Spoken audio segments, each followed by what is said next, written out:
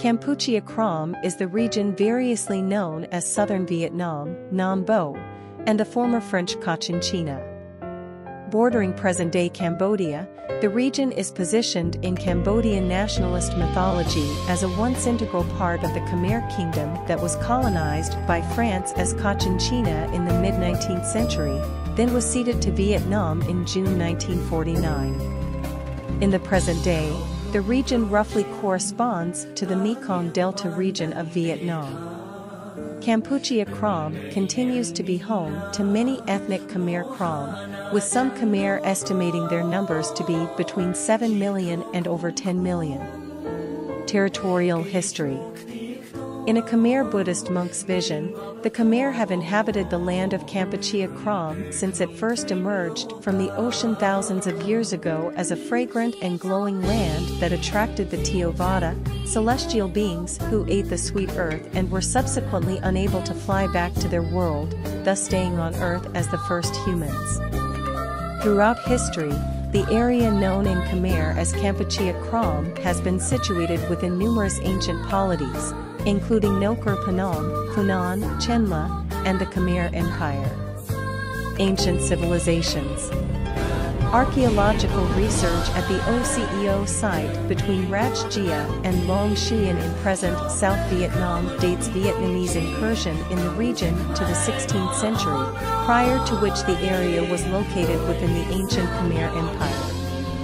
There is no clear consensus on the ethnic makeup of those living within the region during the earlier Funan and Chenla polities. Linguistic evidence from the period by way of inscriptions supports the theory that inhabitants spoke a pre-Khmer Austronesian language. However, archaeologists and historians also contend that this language may have been similar to Khmer, and that a version of Old Khmer may have been used by the end of the Funan period. A further theory is that ethnic distribution within the region may have varied with elevation within the landscape, with Khmer speakers living on higher ground, and Malayo-Polynesian and later Vietnamese speakers occupying the lower-lying areas. 17th, 19th century Vietnamese expansion. The period spanning the 17th to 19th centuries saw an unprecedented expansion of the Vietnamese state into Kampuchea Krom.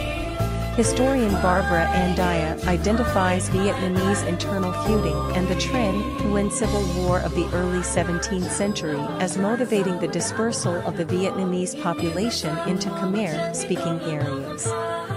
In particular, Khmer sources note that Vietnamese immigrants flooded into the regions of Prang Nokor, known as the present-day Ho Chi Minh City, Baria, and Don Nay, Kampong Sroka Tre, following requests by Vietnamese missionaries to King Chey Chettha, 1618 to 1628 following the fall of the Ming dynasty in the mid-17th century, Ming loyalists began to migrate across East and Southeast Asia, including towards Kampuchea Krom. Historian Claudine Ang argues that this migration of Ming loyalists into the Mekong Delta or Kampuchea Krom, and their alliance with the southern Vietnamese rather than the Khmer or the Siamese, gave the Nguyen lords of the southern Vietnamese state the support that they needed to lay claims on the Delta lands, enabling the aggressive southward territorial expansion of the Nguyen lords in the mid-18th century.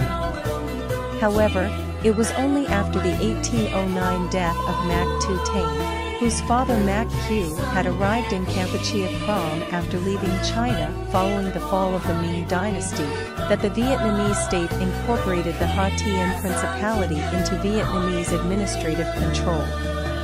Prior to Mac Tu Tang's death, Ha Tien had been an autonomous principality, through the incorporation of Ha Tien, the Nguyen dynasty thus further extended their borders amidst a period of tense regional competition involving the Siamese, Vietnamese, and Khmer.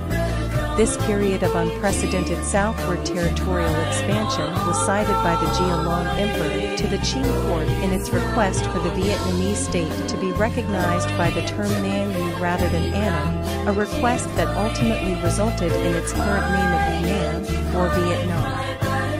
See, Mekong Delta History, Vietnamese period.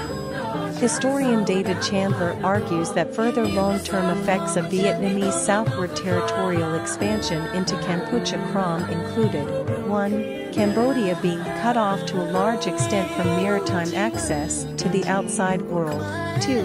The removal of large portions of territory and tens of thousands of ethnic Khmer from Cambodian jurisdiction, and 3 the placement of Cambodia in a vice between its two powerful neighbors of Siam and Vietnam.